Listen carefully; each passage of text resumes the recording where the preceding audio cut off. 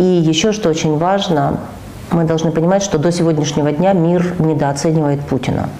Мы сегодня имеем э, растущего тирана, не, э, даже не авторитарного лидера. Мы имеем растущего на наших глазах тирана, который поставил своей задачей создать новую империю.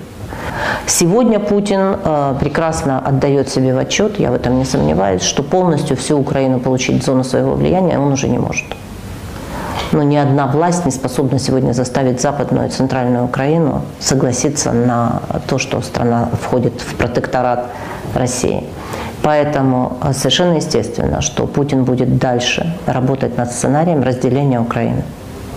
Сегодня уже видны эти территории, это Харьковская, Донецкая, Луганская область, Крым. Все эти сценарии – это реальность сегодняшняя. Это не э, футуристические модели. И мы на эту реальность должны уметь ответить.